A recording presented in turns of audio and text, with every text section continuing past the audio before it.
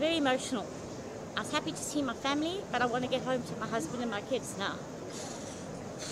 Yeah, so I hope I can make this flight with the tests and everything. It's a big inconvenience. We had our flights booked for a week's time, but we got the news from our daughter in the UK about 12.30, 1 o'clock last night, saying that the UK were going to introduce a red list.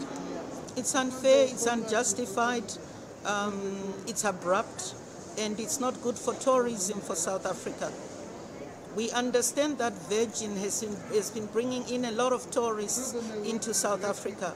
And ever since these regulations were passed last night, uh, people are frantically trying to get back into the UK. The implications for tourism for, for South Africa are dire. It's very unfortunate.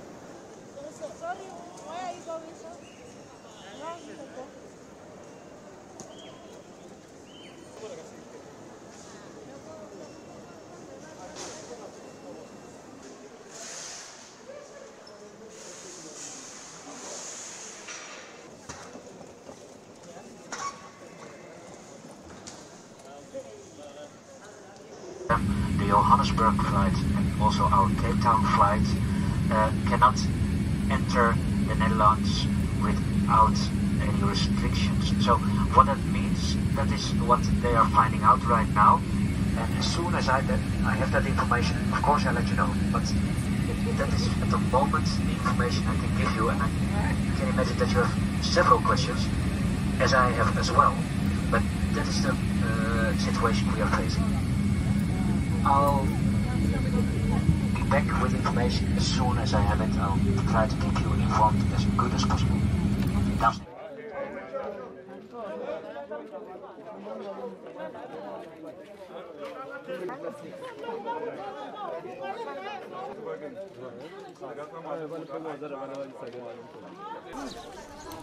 Danke, ist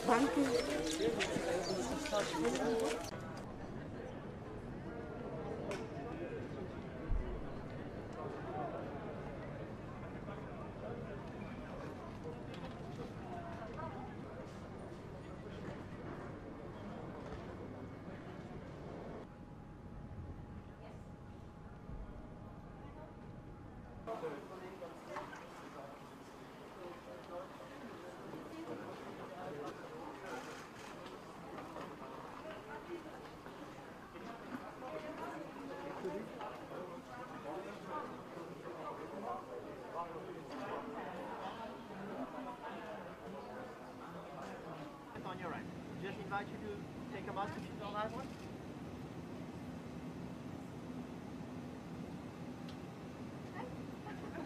We have time, madam. We have time. We, we have 11 hours.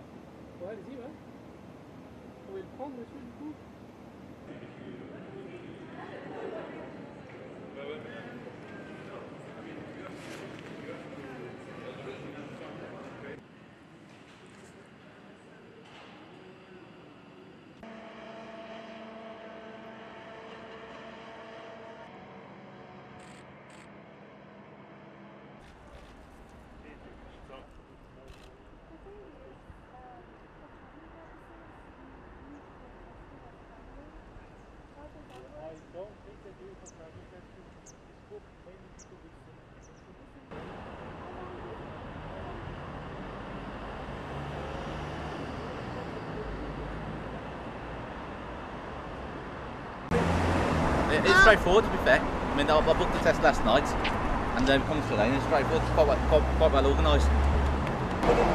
Uh, basically, I've just come to inquire about whether we can walk in, and what they've said is that they only have allocated slots, and once they fall, they can't do anything. They do get allocated slots in the afternoon, but then you have to walk in off chance. They, there's no consideration of other children. There's no consideration of getting contact. It's, it's shocking, and it's it's okay. And then there's the excuses are lab capacity. You can't do this. You can't do that. It's all excuses, and I'm just no. The thing is, it's initially no one expected this, so you understand. Initially, there would be obstacles.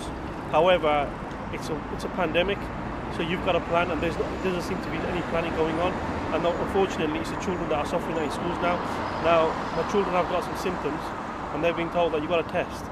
If there's no, if, if it's, if there's no test that's been done, then they have to another, stay at home for another 14 days, which is another 14 days of their education gone, which has a knock-on effect on them, on their social and their educational abilities. It's just something needs to be done, and it's just we're going through obstacles all the time. You go online, it crashes all the time. I've been on the phone for 119. I've just to leave work to come home just to make sure everything's okay. I was on the phone for 45 minutes and then he cut me off. I had to come in here to see if there's a capacity and there's nothing. So it's just just shocking.